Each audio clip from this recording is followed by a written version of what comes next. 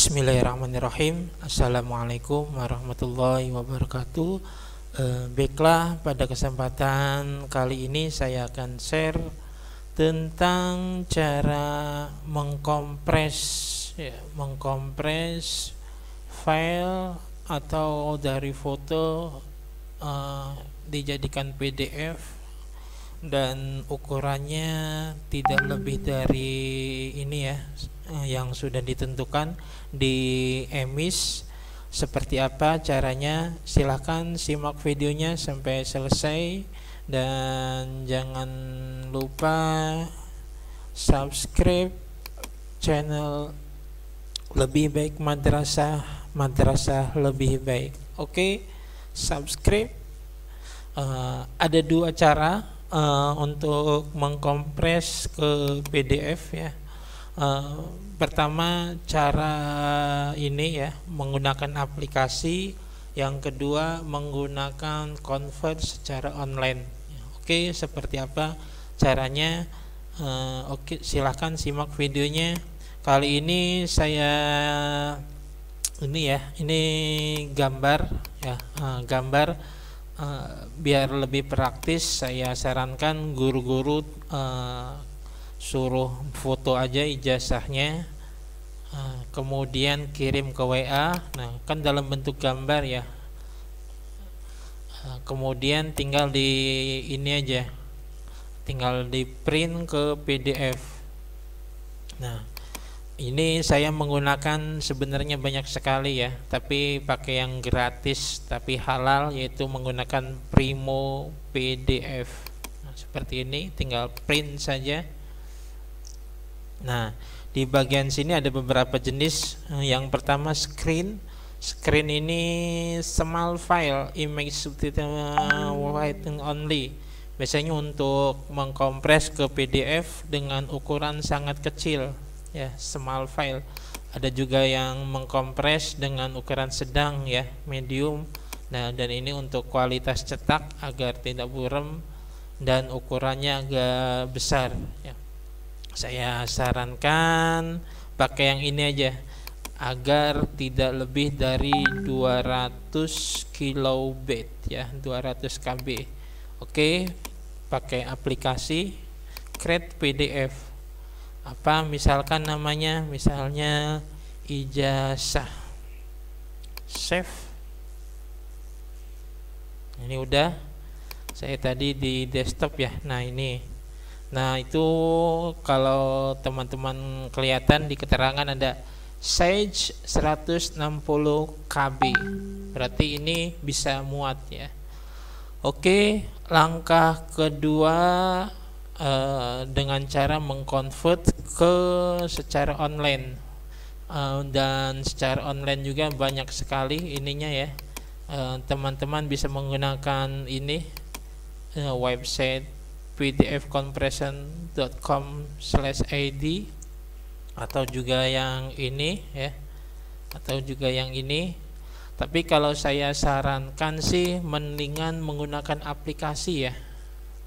Kalau saya boleh menyarankan lebih baik menggunakan aplikasi. Karena data kita kalau misalkan diupload ke ini convert ke online secara otomatis data kita juga masuk ke pemilik web ini ya. Kalau misalkan datanya uh, apa rahasia privasi uh, saya tidak menyarankan untuk mengkonvert secara online Meng lebih baik menggunakan aplikasi. Oke okay, uh, eh, kali ini silahkan teman-teman ke ini aja Smile PDF Smile PDF ya misalkan yang ini uh, mengkompres ke PDF oke apa nama PDF-nya misalkan oke saya convert ke yang lebih gede dulu ya. Print Primo PDF print. Tunggu. Misalkan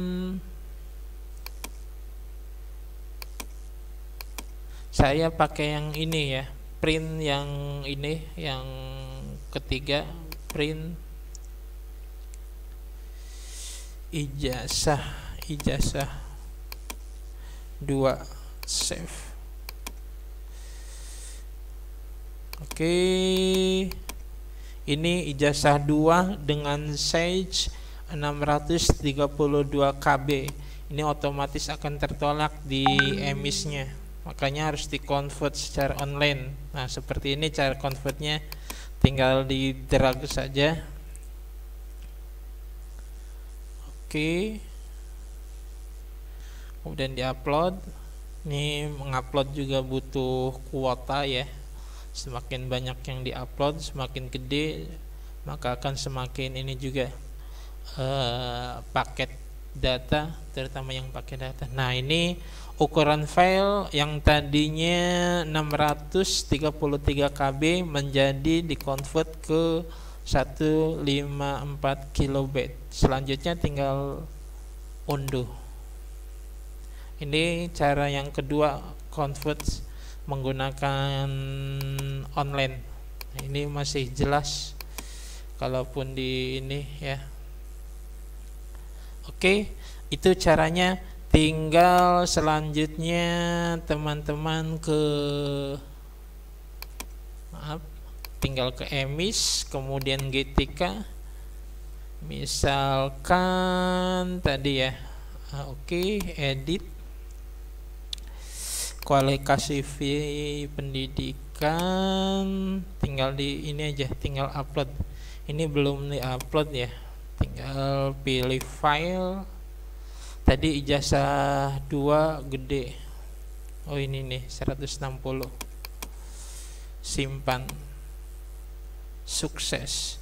Oke okay, uh, eh, itu aja uh, cara mengkonvert uh, ke PDF baik dari gambar dari Microsoft Word dari hasil scan dan lain sebagainya ke PDF dan cara mengecilkannya mengkompres. Kompresnya menjadi sesuai ukuran ini.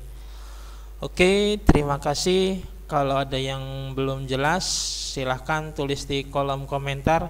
Atau kalau pengen aplikasinya eh, pengen aplikasinya uh, silahkan tulis saja di komentar atau primo PDF atau teman-teman gabung ke grup WA yang ada di sini tinggal klik aja ya sengaja nggak saya publikasikan ke mana-mana khusus untuk uh, para channel setia subscriber lebih baik madrasah madrasah lebih baik dan anggotanya pun tidak banyak karena sengaja nggak di ini publikasikan secara umum.